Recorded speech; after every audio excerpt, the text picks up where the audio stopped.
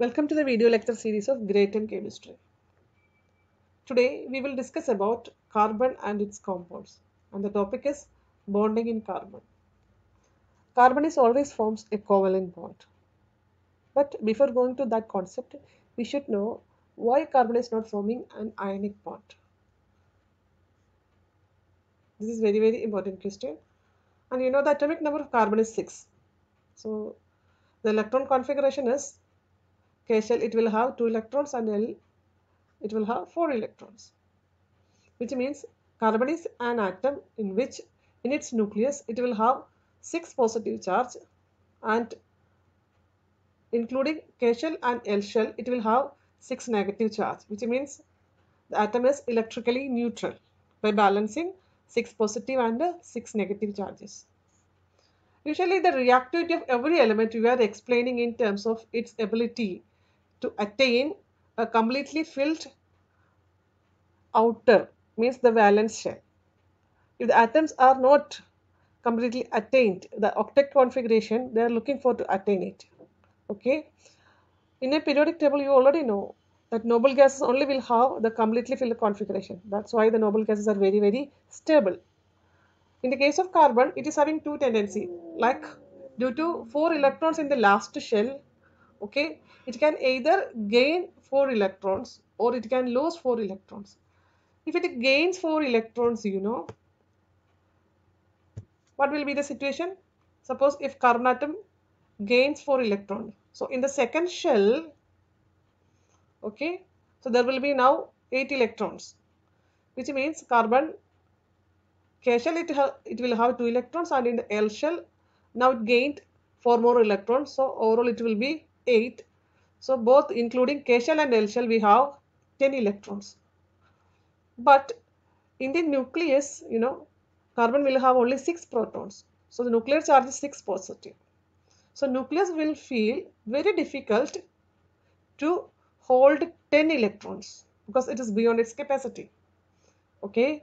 So if it could gain 4 electrons and form a C4 minus anion. Why C4 minus anion? Because if an atom gain 1 electron, it will form 1 minus charge. But carbon, suppose if it gain 4 electron, it will form a C4 minus anion. But if it gains 4 electron, the overall charge around the atom is more than the capacity of the nucleus to hold the electron because the nucleus will have only 6 positive charge and around the nucleus the nuclear uh, electronic charge is 10 negative which means it would be very very difficult for the four 6 positive charge to hold the 10 electrons okay so that's why carbon is not gaining any 4 electrons and form C4 minus ion anion. This is one of the reason why carbon is not forming any ionic bond. The second condition is that if carbon can lose 4 electrons, okay, it could lose 4 electrons, you know, and it can form a C positive, C4 positive cation. When atom loses electron, it forms a positive charge, char positively charged ion. So C losing 4 plus electron and form C4 positive ion. Okay, this we say cation.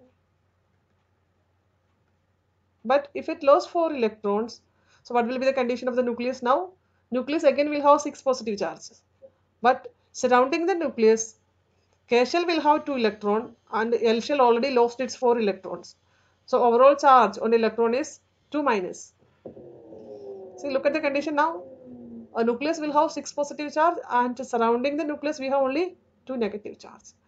And the thing is that to lose these 4 electrons, you know, losing 4 electrons requires large amount of energy.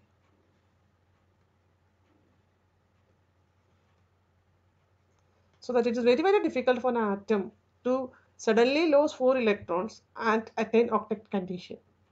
Okay.